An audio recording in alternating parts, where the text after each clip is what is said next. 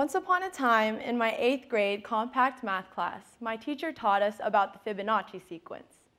In a nutshell, the Fibonacci sequence is a series of numbers in which each number is the sum of the two preceding numbers. For example, the simplest series is 1, 1, 2, 3, 5, 8, 13, 21, and so on. What's even more interesting is that how if you take a number in the Fibonacci sequence and divide it by the previous number, the quotient becomes closer and closer to a single value, 1.618. For example, 5 divided by 13 equals 1.667, 13 divided by 8 equals 1.625, and if you were to continue on with this series, 144 divided by 89 equals 1.617. This is certainly not a coincidence. This value of 1.618 is defined as phi in mathematics and is better known as the golden ratio. Geometrically, the golden ratio looks like this, with each side of a rectangle being a number in the Fibonacci sequence. So I know many of you may be having horrific flashbacks to math class, asking yourself, when am I ever going to use this in real life? But you may be surprised how significant this value truly is. For instance, I'm sure most of you have seen the Mona Lisa painted by Leonardo da Vinci, or the Great Wave of Kanagawa created by Hokusai. Well, as you can see, the golden ratio is seen in, in fact, both, both of these classic works of art. This lecture puzzled eighth grade me. I wondered who knew math and art, topics from two completely different studies, could be so related that they are each parts of a whole. This is a question I still ponder today, but now I apply it to the relationship between the overall studies of humanities and STEM. Essentially, humanities studies include, but are not limited to, history, literature, philosophy, and the arts. On the other hand, STEM stands for science, technology, engineering, and mathematics. So as you can see, two completely different studies, with the former being subjective and based on personal interpretation, while the latter being objective based on facts, statistics, observations, and evidence. Oftentimes, it is this difference that causes a clash between the two realms. Take the famous nature versus nurture debate, for example. Many people question whether our personalities and our characteristics as human beings is, are contributed to our unique genetic code or to the culture that we are raised in. There may never be correct answers to such questions, but I believe that there is one way to unite the two opposing worlds, medicine. Medicine demonstrates how you cannot have the humanities without STEM and vice versa. In fact, at Johns Hopkins University, there is a, a major that is called Medicine, Science, and the Humanities. If you really think about it, healthcare providers use biology, chemistry, anatomy, and all different branches of science to treat humanity.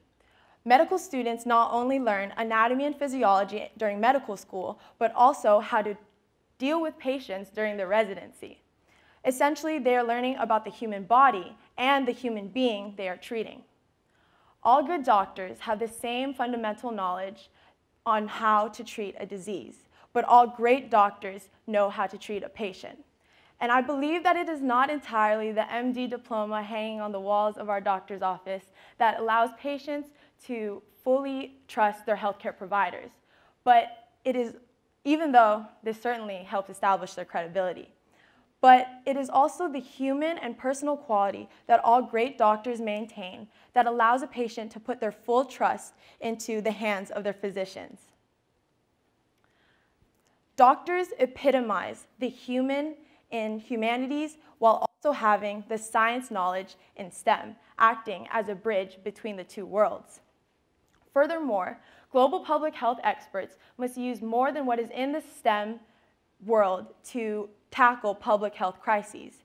In order to fully understand pandemics like HIV and AIDS, or epidemics like Ebola and the avian influenza, one must consider the political implications, the socioeconomic disparities, the cultural limitations, and the environmental hazards that could potentially influence the spread of disease throughout the world.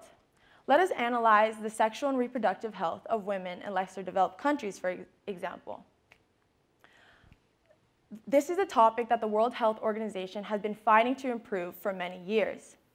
According to the World Health Organization, 214 million women of reproductive age in lesser developed countries do not have access or do not use modern contraceptive methods. And the World Health Organization cannot simply supply these women with the contraceptives that they need. Why? Well, there are other factors such as the culture the women live in, their, the women's economic status, and the legislation in place that make this discussion more complex. Take the Philippines, for instance. The Philippines is the largest Roman Catholic country in Asia, and therefore, many conservative lawmakers certainly condemn the use of contraception. Additionally, many women in the Philippines are not able to afford purchasing the various contraceptive methods. According to the Human Rights Watch, in 2015, 51 female hormonal contraceptives were banned in the Philippines. Fortunately, a, re a, reproductive health bill was passed that required not only the national distribution of contraceptives, but as well as the a comprehensive sexual education in schools and a more efficient system of decreasing the incidence of maternal deaths in the Philippines. Clearly, the topic of women's reproductive health in lesser developed countries is not strictly medical or strictly scientific. And oftentimes, it is not the biology or the chemistry that inhibits the success of medicine, but it is the economic, political, and cultural boundaries that make implementation more difficult. So why does this matter? Well, you see, it is important as human beings that we do not limit ourselves to view the world through one lens or perspective. Using the humanities, we are able to see the beauty of the, science, of the evidence that we discover through science and mathematics. The beauty of medicine and global public health is that we are able to see the significance in the relationship between the humanities and STEM. As stated in the World Health Organization Constitution, the enjoyment of the highest attainable standard of health is one of the basic fundamental human rights of every human being, no matter distinction of race, religion, political belief, economic, or social condition. Over the summer, I went to a medical conference in Boston where I heard phenomenal speakers, Nobel Prize laureates, and award-winning award medical researchers who discussed their achievements and their journey through the medical field. One of my favorite speakers was Jack Andraka, who was the Intel International Science and Engineering Fair winner in 2012. He said that the work as physicians, as healthcare workers, and as medical researchers can't end at the doors of the clinic. The responsibility to the patient does not end at diagnosing and treating diseases within the walls of the hospital.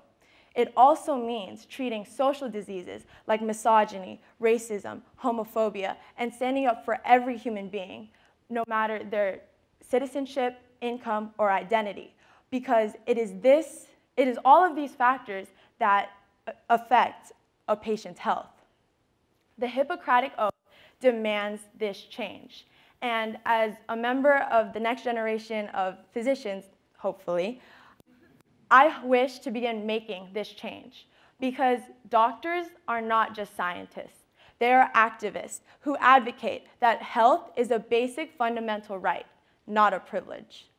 So I guess you could say math did come in handy because without that class in eighth grade, I would, to spur my curiosity, I would not be on the stage describing my love and appreciation for the medical field.